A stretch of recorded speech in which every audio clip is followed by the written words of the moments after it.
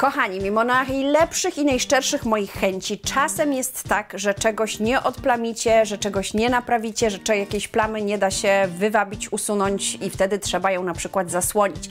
Dlatego w dzisiejszym odcinku podrzucę Wam parę dobrych patentów na ratowanie ubrań, które z różnych powodów w jakiś sposób ucierpiały. Pogadamy o tym, jak najskuteczniej pozbyć się zmechaceń. Pogadamy o tym, co zrobić, kiedy coś nam się zaciągnie i taka niteczka nam zostaje nieprzyjemna i rujnująca cały strój. No ale pogadamy też o tym, co zrobić, kiedy jest plama, której się zupełnie usunąć nie da i wtedy jednym ze znakomitych sposobów jest farbowanie.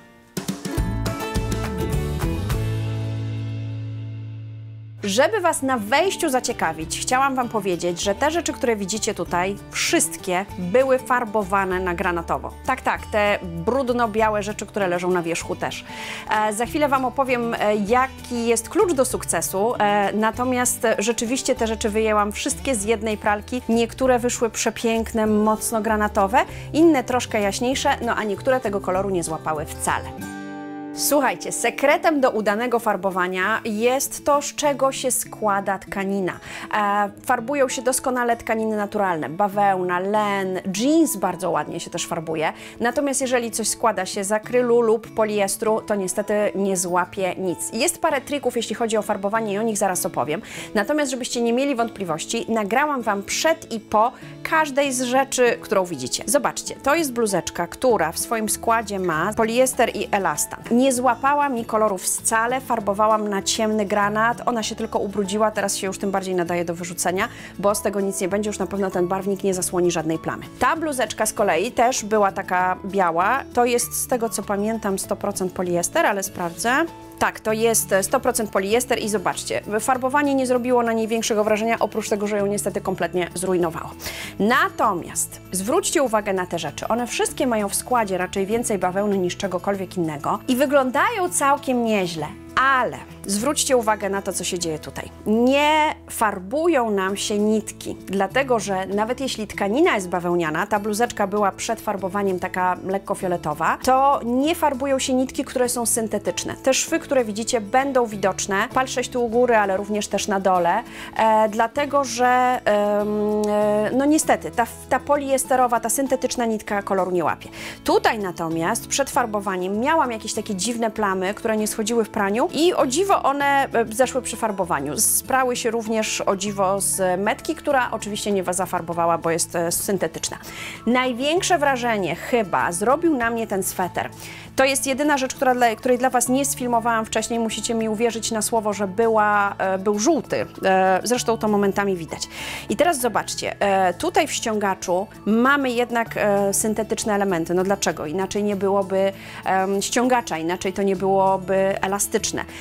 I niestety farbowanie sprawiło, że resztki tej żółtej nitki syntetycznej, pewnie elastanu, który tam był e, wpleciony, nie zafarbowały się tak ładnie jak reszta. Czy mi to już przeszkadza? Akurat w przypadku tego swetra w ogóle nie, mm, więc myślę sobie, że to wcale e, nie wygląda najgorzej. Przypominam, że te rzeczy były wszystkie farbowane w jednym wsadzie. One razem były w pralce i zwróćcie uwagę, w zależności od tego, jaka to jest tkanina, każda zabarwiła się jednak trochę inaczej, więc ten proces domowego barwiania, barwienia rzeczy jest trochę nieprzewidywalny, co jest w sumie fajne.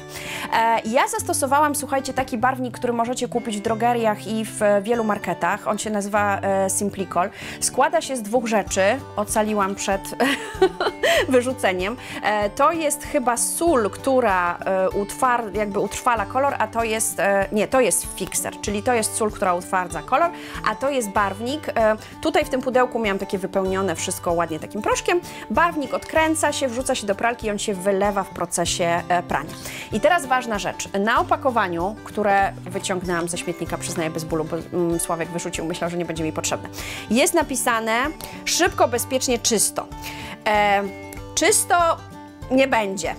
I muszę Wam powiedzieć, że to jest już któryś raz, kiedy e, farbuję rzeczy w domu. Kiedy miałam starszą pralkę, taką dziesięcioletnią, ona była tak ubabrana, że się po prostu kompletnie załamałam, jak zobaczyłam, jaki jest efekt. Musiałam ją naprawdę solidnie doczyścić, zwłaszcza kołnierz, który wręcz zafarbował. E, wyprałam ze dwa razy ręczniki w wysokiej temperaturze i problemu nie było, no ale jednak namęczyłam się z czyszczeniem tej pralki wcześniej.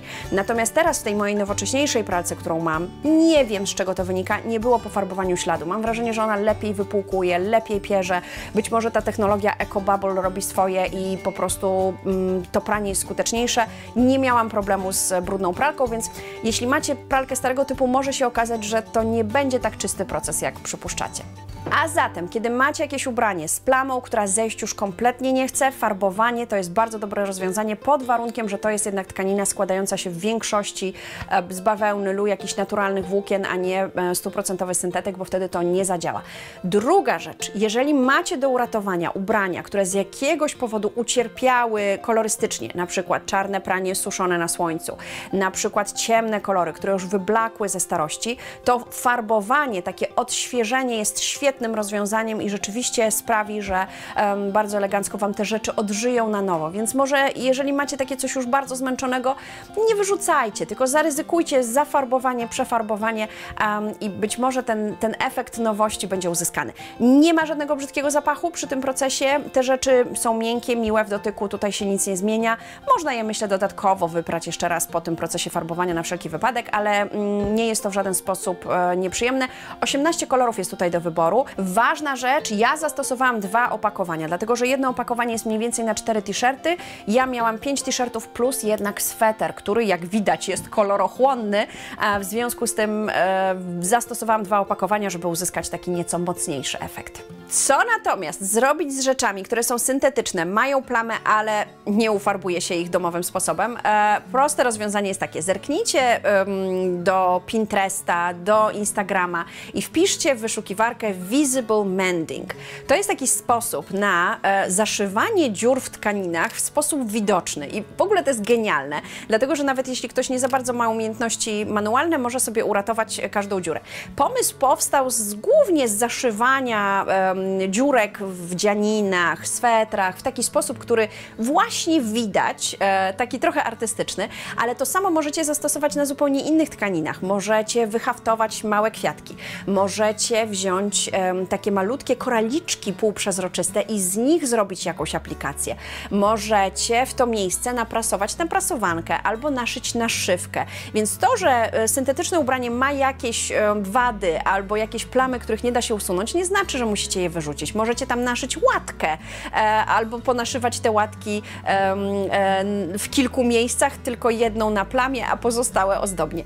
Pomyślcie kreatywnie o tym, co można zrobić z takim ubraniem, bo nasze, jak nasze, wiadomo, ale również dziecięce ubrania możemy w ten sposób ratować i przedłużać ich życie, nie tylko dla tego jednego dziecka, które je nosi, ale także dla następnego i dla następnego, bo mam nadzieję, że Wasze dziecięce ubrania też mają kolejne odsłony i kolejne życia. Więc to, że poplamione, nie znaczy, że to już jest koniec kariery. Mam miskę z wodą i nie zawaham się jej użyć. Dlaczego? Bo skurczyłam, byłam e, kocyczek. Więc teraz tak, jeśli coś Wam się skurczy w praniu, pozdrawiam MLH, wiemy, że to była traumatyczna historia Waszego swetra i e, pokażę Wam, jak zrobić, żeby to się już nie powtórzyło. E, więc jeśli coś nam się skurczy, to jest na to sposób, ale nie do końca. To znaczy, jeżeli Wam się skurczyło turbo mocno, no to jakby należy ten sweter dać misiowi. E, nie dziecku, dlatego że on nie będzie ciepły, tylko będzie sztywny, zbity, niefajny i to nie jest wcale dobre rozwiązanie. Taka wełna, czy taki merynos, czy taki kaszmir, który się skurczył, traci swoje właściwości, jeżeli się skurczył ekstremalnie. Jeżeli się skurczył tylko trochę, e, to możemy spróbować go troszeczkę rozpracować, co Wam pokażę zaraz, jak zrobić. Natomiast miracomando, jak mawiają Włosi, sprawdzajcie metki, czytajcie metki. Jak jest napisane 30 stopni, to nie pieszcie w 40.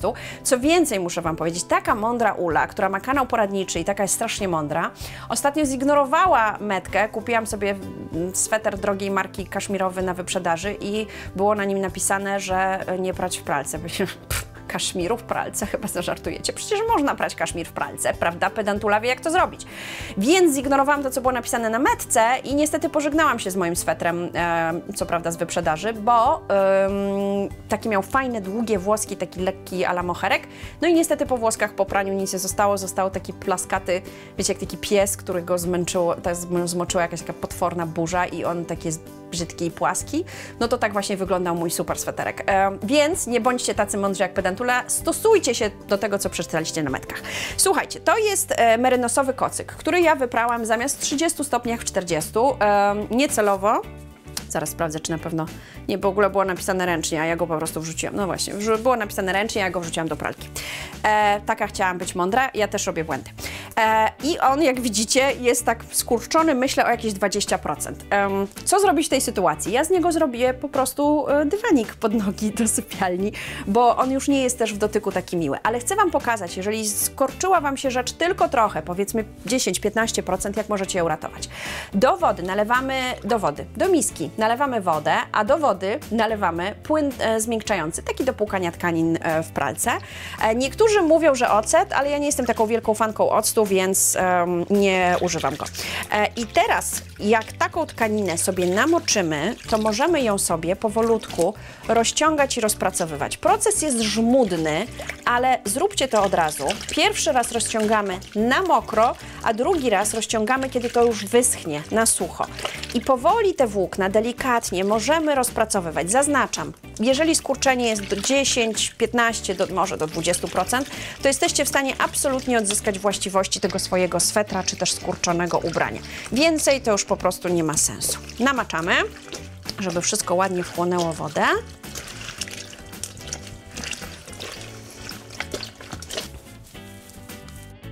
Teraz, kiedy chcecie rozpracowywać ten materiał, ważne jest to, żeby to robić po kawałku i ważne jest to, żeby to robić e, pod różnymi kątami. Wzdłuż e, splotu, wszerz splotu, e, w poprzek splotu. Chodzi żeby o to, żeby porozciągać. Ja rozciągnę teraz połowę, żeby Wam pokazać, jakby ile jestem w stanie uzyskać.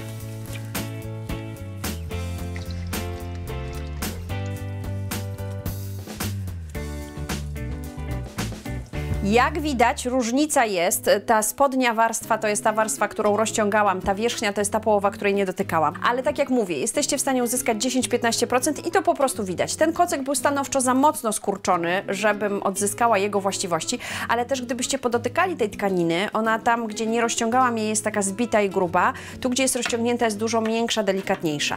Więc e, nie uzyskamy efektu stuprocentowego tutaj, ale przy mniej skurczonych rzeczach powinno Wam się udać. Przypominam, ciepła woda, nie za gorąca, nie powyżej temperatury prania, płyn do płukania, który tak troszeczkę rozmiękczy te e, włókna e, i rozciągamy w każdą stronę delikatnie, z wyczuciem, żebyście nie porwali szwów na przykład, jeżeli mowa o swetrze. Nie poddawajcie się, rozciągajcie, aczkolwiek i tak w przypadku MLH sprawa była, powiedzmy sobie jasno, od razu stracona.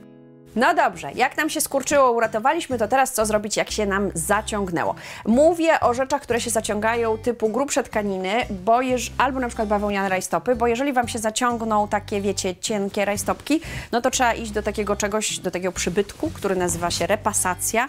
Znaleźć teraz taki, to ze świecą szukać, bo naprawa niestety rajstop kosztuje drożej niż nowe, no ale co zrobić? To jest kapa z mojego łóżka. I to są ślady pazurów mojego kota. E, powyciągane nitki, widzicie jak to wygląda, nieszczególnie. E, I czasem się to zdarzy. Czasem nam się zahaczy sweter, czasem nam się zahaczy spódnica, e, czasem nam się zahaczy szalik. On bardzo lubi się też zahaczać o różne rzeczy i co z tym zrobić? Tych nitek nie wolno ucinać, dlatego że jeżeli je utniecie i potem naciągniecie tkaninę, to e, będziecie mieli dziurę, bo przerywacie po prostu pewien naturalny ciąg nici, który jest dziany lub tkany i e, w związku z tym to się nie skończy w żaden sposób dobrze. E, dlatego takie nitki zawsze przewlekamy na lewą stronę za pomocą tego magicznego urządzenia, które jest zwykłym szydełkiem, tyle że w skali mikro. Ono ma 95 setnych milimetra, tak wygląda ta główeczka i można nim przewlec bez szkody dla e, materiału naprawdę absolutnie wszystko. Jak to robimy? Wkładamy sobie od spodu to e, szydełeczko, wbijamy najbliżej jak tylko możemy miejsca, że tak powiem, ubytku i tę niteczkę przeciągamy sobie na drugą stronę.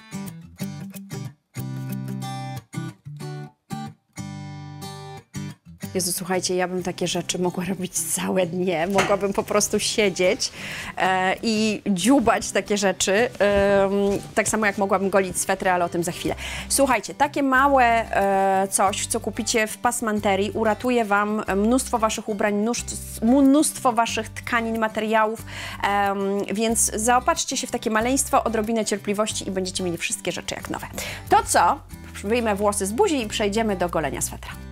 Proszę Państwa, przed Państwem rękaw ogolony oraz rękaw nieogolony. Jeden a drugi dzieli zaledwie kilka minut z tym urządzeniem. Dlatego, że jeśli coś Wam się mechaci, a ma prawo się mechacić, to trzeba to ogolić. Teraz tak, jeśli chodzi o mechacenie, występują dwa rodzaje mechacenia. Mechacenie prawidłowe, które zademonstrowałam Państwu tutaj, wynika z naturalnej tendencji dzielniny do mechacenia się. Mechacie się nawet drogi kaszmir za setki złotych, więc w ogóle niech Was to nie dziwi. Gulcie i noście dalej. Drugi rodzaj mechacenia, który występuje, jest to mechacenie nieprawidłowe, które odnotujecie po pierwszym praniu Waszej dzianiny, a mianowicie będzie cała skulkowana. I moim zdaniem to jest powód do reklamacji, dlatego że taka dzianina nie da się mm, wygolić po pierwsze skutecznie, a po drugie będzie zmechacony po praniu całe ubranie w równomiernym stopniu. I to znaczy, że niestety z dzianiną było coś nie tak. To jest urządzenie, które w przypadku wystąpienia prawidłowego mechacenia takiego uprawnionego uratuje Wam życie. Kupione w parę ładnych lat temu w Rosmanie za niespełna 50 zł, pewnie teraz e, wiecie, wszystko jest droższe. I teraz jak to działa? To działa tak, że tu mamy taki pierścień i pod tym pierścieniem zaraz będzie nam się zbierać to, co ogoliliśmy, czyli taki puszek, okruszek, kłębuszek. Natomiast to jest takie sitko, które chroni nasz sweter przed tym, żeby się nie podziurawił, bo tu mamy już naprawdę ostre urządzenia. A mianowicie, potrzymam Was jeszcze trochę w niepewności. Bardzo proszę. Ha! To są nasze trzy żyletki. Wiecie, one nie są takie strasznie ostre, mogę ich dotknąć. Natomiast one powodują, że udaje się skutecznie, a bez robienia dziur, ogolić sweter. Urządzenie e, pracuje na baterię, ma długą żywotność tych baterii, będziecie mogli ogolić naprawdę dużo swetrów na jednych bateriach. I teraz Wam pokażę, jaka jest instrukcja obsługi. Uwaga, składa się ona z dwóch bardzo istotnych kroków. Krok pierwszy, wcisnąć guzik.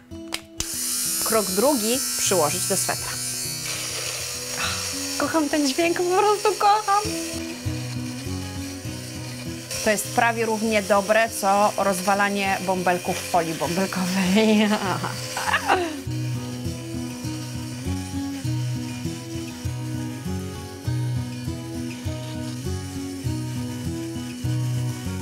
No to teraz chodźcie, pokażę Wam, co takiego mi się tu wygoliło. Jeden rękawek, bardzo proszę. I proszę, ile tego towaru, proszę. Proszę, proszę. To wszystko wygoliłam z jednego rękawa, proszę Państwa. Ile radochy, ile frajdy. Naprawdę to jest bardzo przyjemna czynność. Słuchajcie, gulcie swoje swetry, im częściej, tym lepiej, bo one, kiedy mają nawet tylko trochę zmechaceń, zaczynają tak trochę wyglądać, wiecie, jakbyście byli troszeczkę tacy zaniedbani, leciutko czy coś, więc lepiej wygolić. E, ja uwielbiam tą czynność. Ja jestem w gorącej wodzie kąpana, więc powiem Wam z ręką na sercu, robię to troszeczkę za szybko.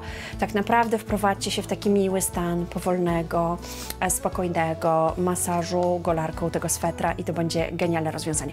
E, druga rzecz, taka bardziej interwencyjna, chociaż przy niektórych rodzajach zmechacenia, zwłaszcza tych większych, e, sprawdza się bardzo dobrze, to jest taki grzebyczek. Jeżeli napiszecie w wyszukiwarce grzebyczek do zmechaceń, to kupicie za ciężkie pieniądze taki kawałeczek plastiku z kawałeczkiem metalu, ale e, to jest bardzo użyteczne. Czekajcie, tu już wygoliłam. Patrzę, gdzie mam jakieś takie bardziej niewygolone. O, zobaczcie. No i to działa mniej więcej w ten sam sposób, tylko bardzo proszę, trzeba to robić manualnie.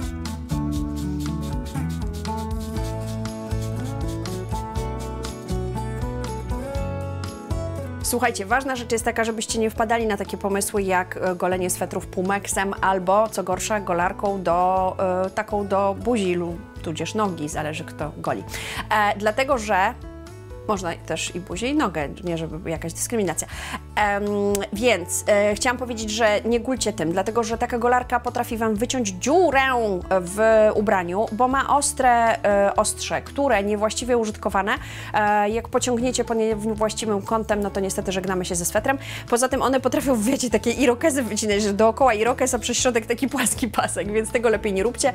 To goląc nadmiar, czyli zmechacenia, jednocześnie tak fajnie wyciąga te włókna swetra, że to będzie po prostu wyglądało naturalnie, a nie tak jakby ktoś się przejechał kosiarką po jakimś kawałku. No dobrze, to tyle jeśli chodzi o e, podstawy dbania o ubrania oraz rozwiązywanie takich sytuacji, które wydawałyby się bez wyjścia, a jednak wyjście jest jeszcze mnóstwo. E, jeżeli macie jakiekolwiek pytania, to bardzo Was gorąco zachęcam do tego, żeby wpisać je w komentarzu, bo jak wiecie, czytam wszystkie komentarze, zawsze staram się zostawić e, sygnał, że czytałam, no a jak tylko jestem w stanie, to odpowiadam na ile mogę, więc czekam na Wasze pytania i z przyjemnością jeszcze w czymś pomogę. A teraz rozłożę sobie tutaj tak ładnie na płasko. Wezmę golareczkę i